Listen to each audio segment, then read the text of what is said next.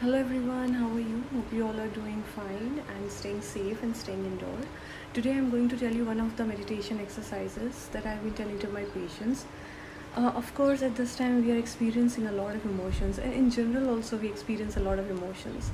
We tend to mix it up, we tend to ignore it or overreact.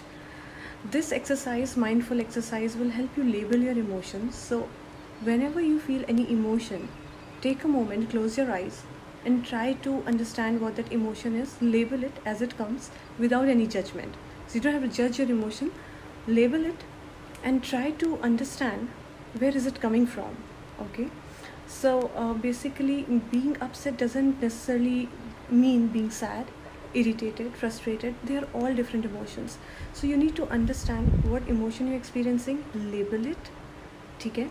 So what happens is कि जब आप उसको label करेंगे तो आपको ये पता चलेगा कि वो किस वजह से आ रहे हैं first of all why are you feeling this particular emotion so it will help you uncover that and secondly it will help you react over react less to the situation so more mindful you are about uh, what's causing it the less cloudy your behavior will be take a moment label your emotion don't mix them up don't overreact to situation and people around you take control and uh, label it as many times as it comes.